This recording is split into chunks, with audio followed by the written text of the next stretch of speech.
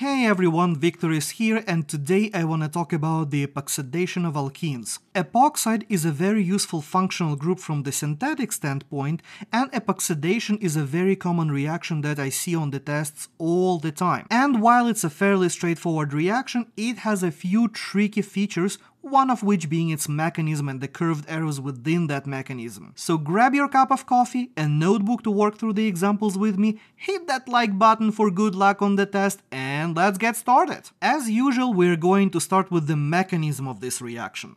So let's say I have a generic alkene here, and to do the epoxidation reaction, we are going to treat this alkene with a peroxy acid. Now, to make it easier to show the mechanism, I'm actually going to redraw my peroxy acid like this. And there are a few versions of this mechanism. I like the one with four arrows the most, it seems to be the most straightforward one. You might also see the one with five arrows, which is pretty much the same thing. So arrow number one is going to be the carbonyl grabbing a proton, then we are going to attack one of the carbons of our alkene. These electrons will be used to make the first CO bond. Next, the pi electrons of the alkene float back to the peroxy acid that will make the second CO bond, and finally we are going to break OO bond. Oh, and since it's a concerted mechanism, all of that happens at once. And I know it's a lot to take in right now, so let's do it step by step one more time. I'll start it from the clean slate. Step 1 is going to be carbonyl grabbing uh, the proton and that makes our new OH bond right over here. Step 2, we are going to attack one of the carbons of the alkene and that makes a new CO bond over here. Step 3, alkene attacks the oxygen and that makes the second CO bond there. And then finally, step 4 is going to be breaking the OO bond, which gives us our final products, epoxide and carboxylic acid. And of course the only product that we actually do care about is the epoxide and we are going to discard the carboxylic acid. So when it comes to the peroxy acids, we have the three most commonly used ones. It's going to be MCPBA, which stands for the metachloroperbenzoic acid, which is probably the most commonly used one. Next we have the peroxyacetic acid.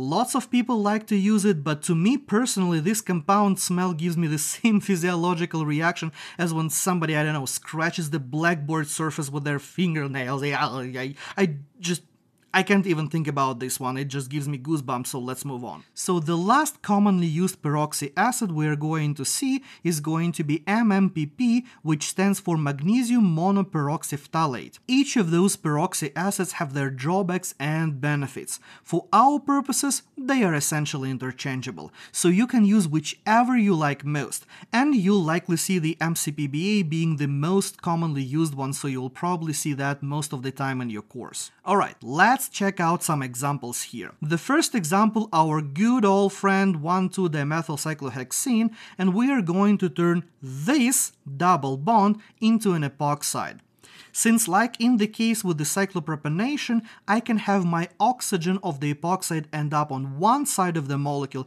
or the other side, I'm going to have to push the methyl groups here in the opposing direction, so I ended up with this molecule, which, by the way, is a meso compound due to the internal plane of symmetry, meaning that this molecule is achiral.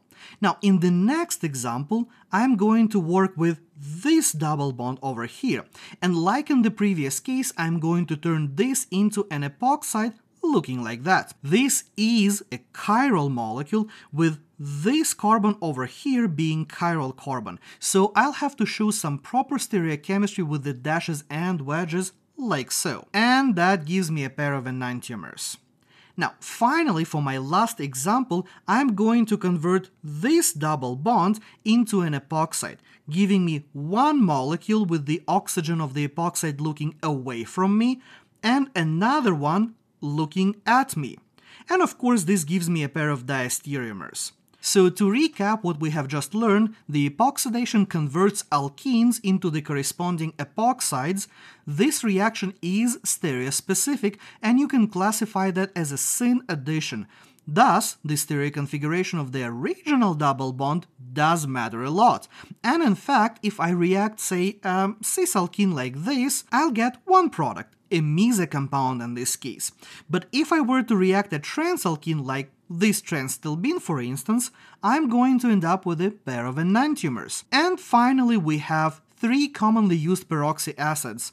We have MCPBA, MMPP, and that other one which I don't even want to talk about. And that's all you need to know about the epoxidation reactions to ace the next test. Thank you for watching.